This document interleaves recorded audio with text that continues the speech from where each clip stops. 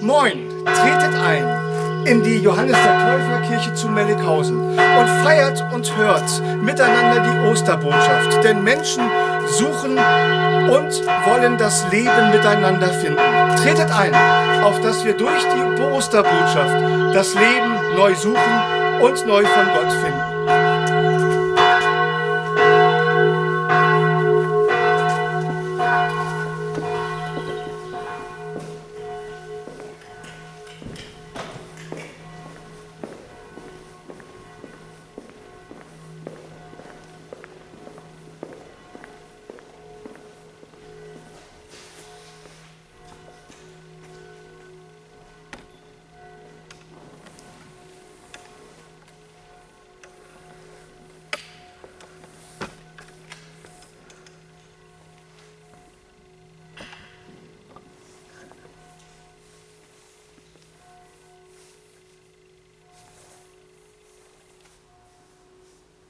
Christus Licht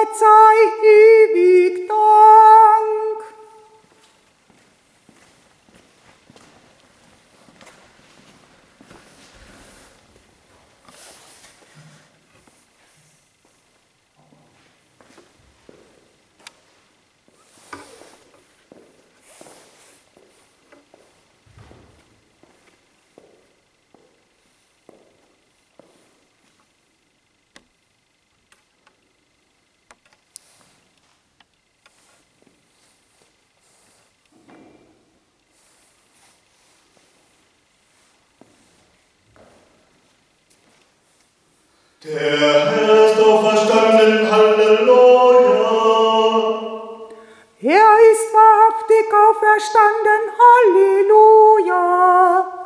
Der Herr ist auferstanden, Halleluja. Er ist wahrhaftig auferstanden. Halleluja. Der Herr ist auferstanden, Halleluja. Auferstanden. Halleluja.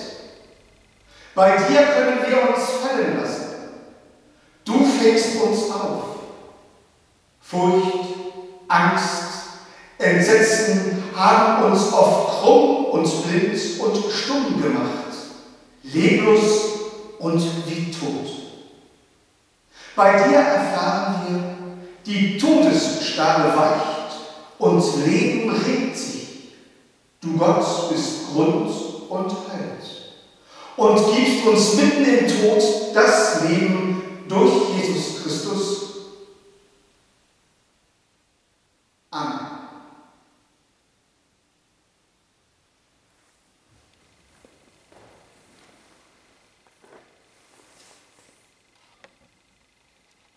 So hört nun das Osterevangelium, aufgeschrieben beim Evangelisten Johannes, Kapitel 20. Maria stand draußen vor dem Grab und weinte. Als sie nun weinte, beugte sie sich in das Grab hinein und sieht zwei Engel in weißen Gewändern sitzen. Einen zu Häupten und den anderen zu den Füßen, wo der Leichnam Jesu gelegen hatte. Und sie sprachen zu ihr, Frau, was weinst du? Sie spricht zu ihnen, Sie haben meinen Herrn weggenommen und ich weiß nicht, wo Sie ihn hingelegt haben. Und als sie das sagte, wandte sie sich um und sieht Jesus stehen und weiß nicht, dass es Jesus ist. Spricht Jesus zu ihr, Frau, was weinst du? Wen suchst du? Sie meint, es sei der Gärtner und spricht zu ihm, Herr, hast du ihn weggetragen, so sage mir, wo hast du ihn hingelegt? Dann will ich ihn holen. Spricht Jesus zu ihr, Maria. Da wandte sie sich um und spricht zu ihm auf Hebräisch, Rabuni, das heißt Meister. Spricht Jesus zu ihr, rühre mich nicht an, denn ich bin noch nicht aufgefahren zum Vater. Geh aber hin zu meinen Brüdern und sage ihnen, ich fahre auf zu meinem Vater und eurem Vater, zu meinem Gott und eurem Gott. Maria Magdalena geht und verkündigt den Jüngern, ich habe den Herrn gesehen und was er zu ihr gesagt habe. Halleluja. Amen. So lasst uns miteinander Gott loben und preisen mit dem Bekenntnis unseres Glaubens.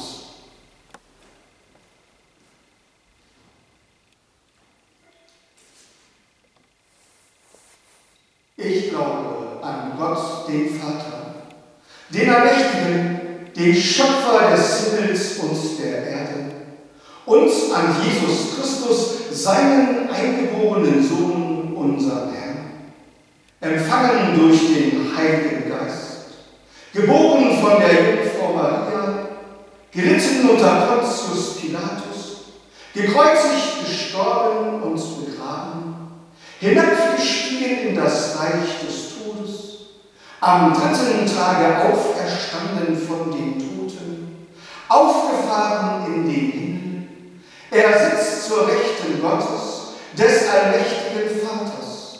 Von dort wird zu richten die Lebenden und die Toten.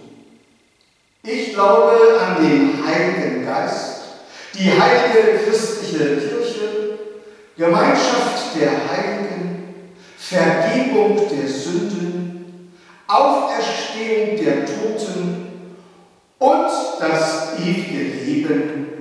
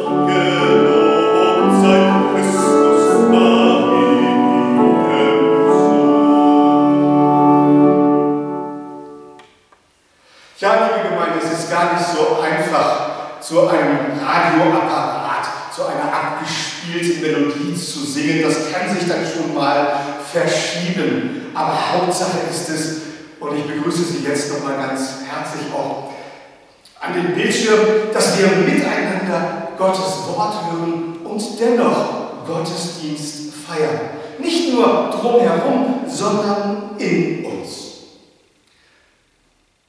Die Gnade unseres Herrn Jesus Christus und die Liebe Gottes und die Gemeinschaft des Heiligen Geistes sei mit euch allen. Amen. Oh, jetzt muss ich das erstmal in der Gemeinde doch noch zusammenbauen. Es ist so wie im Badezimmer manchmal, dass das Gerät nicht gleich so funktioniert. Liebe Gemeinde, aber so, nun geht es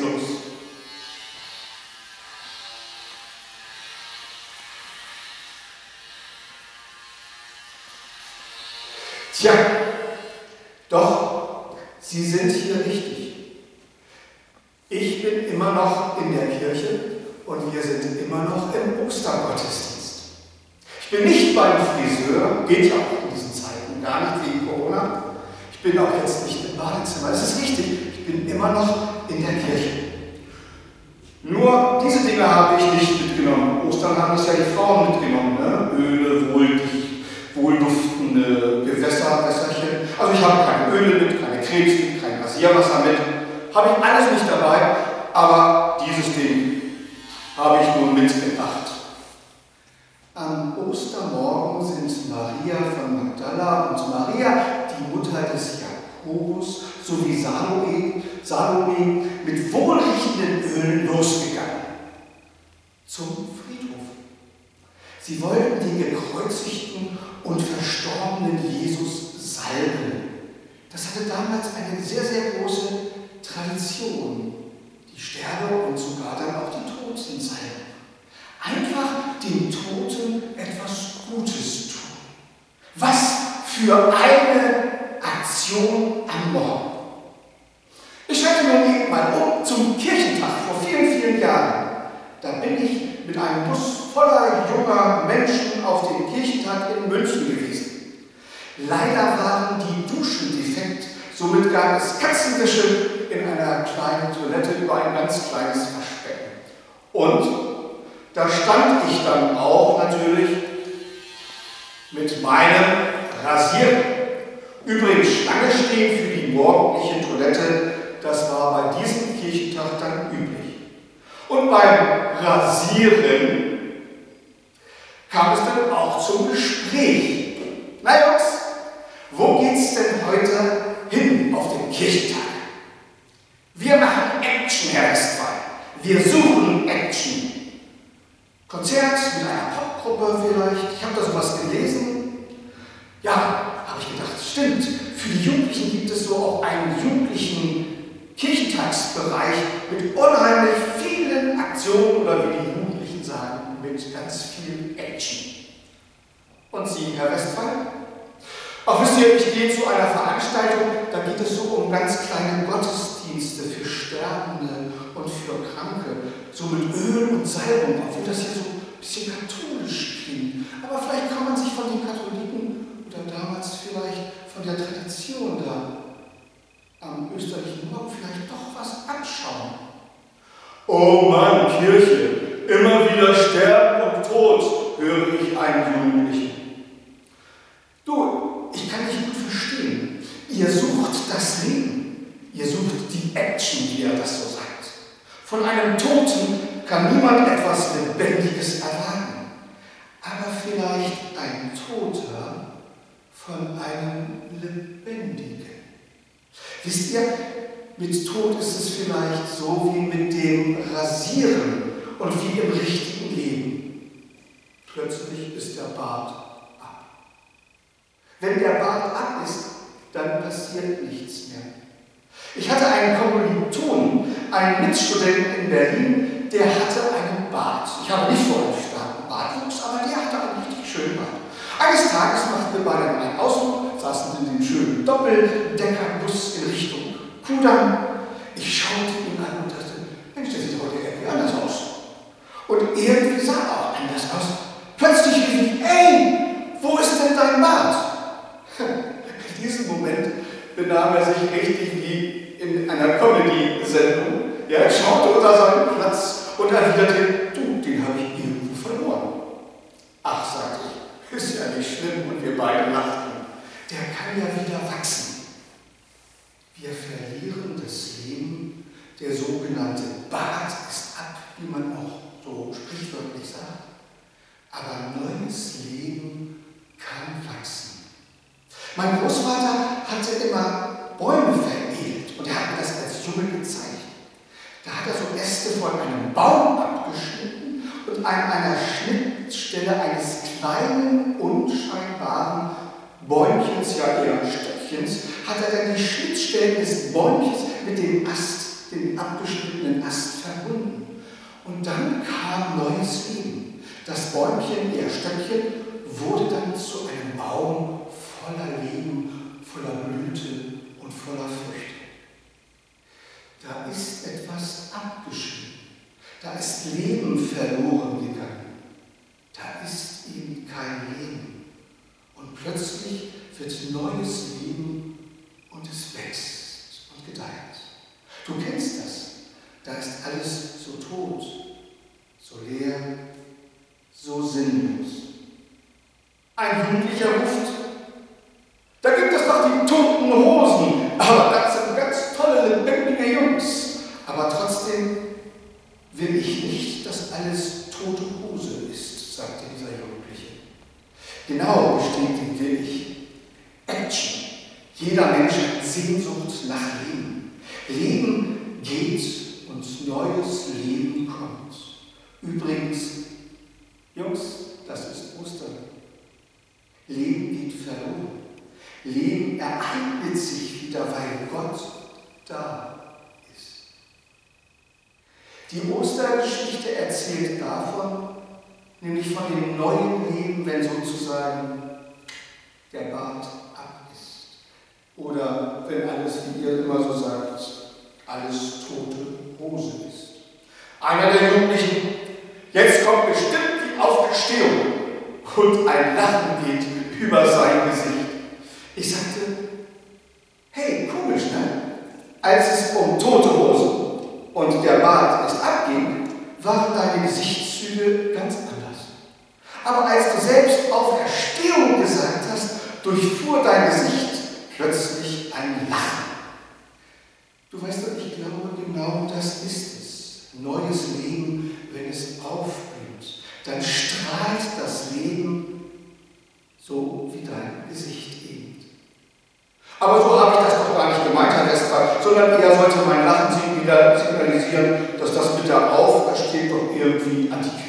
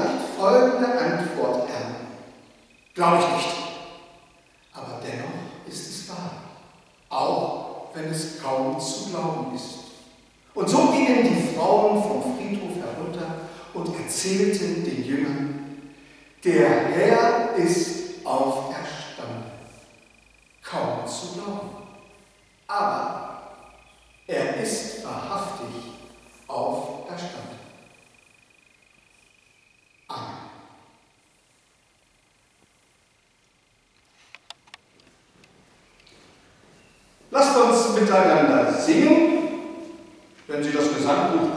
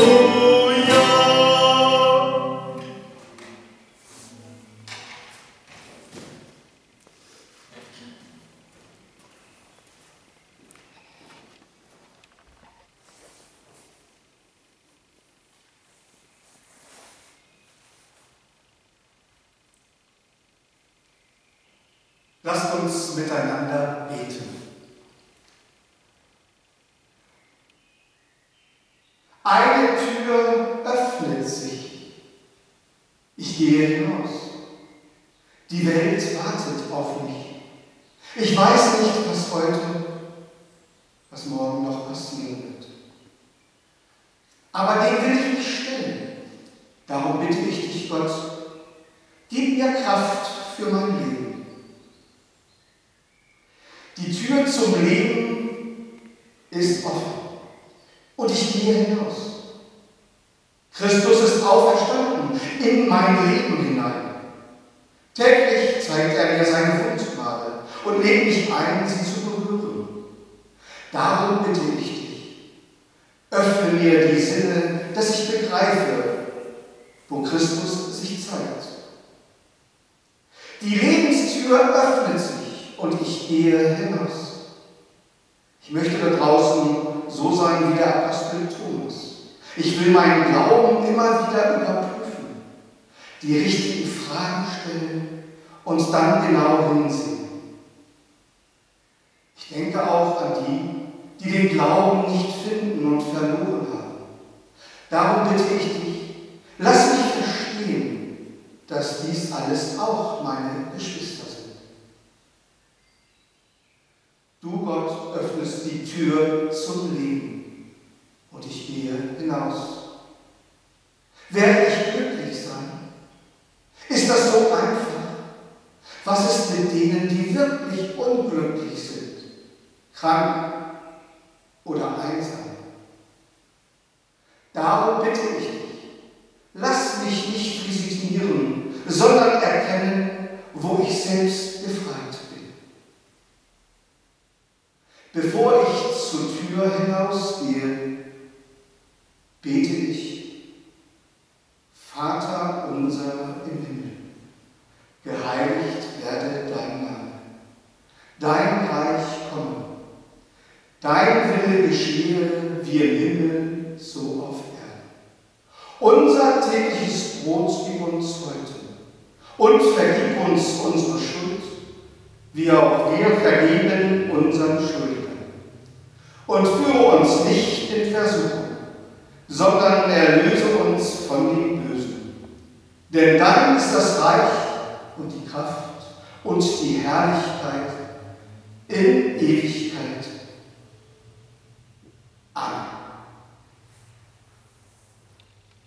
Und so geht hin, im Frieden und im Segen des Herrn. Der Herr segne dich und behüte dich. Der Herr lasse leuchten sein Angesicht über dir und sei dir gnädig. Der Herr hebe sein Angesicht auf dich und gebe dir Frieden. Amen.